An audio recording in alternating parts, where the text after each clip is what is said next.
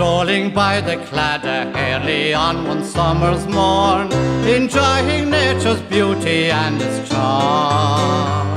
When I came across a pretty Irish colleen by the way, a fish girl with a basket on her arm.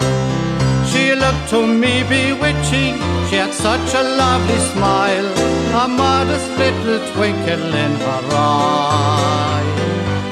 Courted low and made a bow, politely said to me, Some herring, sir, or mackerel will you buy?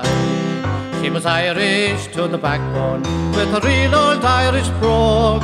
But though she had two roguish eyes, sure Bridget was no rogue. She was dainty as a fairy, with her nut brown hair and curl. And the darling who soon won my heart was a pretty little Galway girl. Looked to me bewitching as she tripped along her way, so modest in her petticoat and shawl, that I soon became enraptured with this little Irish maid. Though lovely faith, she had no pride at all. Her modest way soon won me, and my head was in a whirl.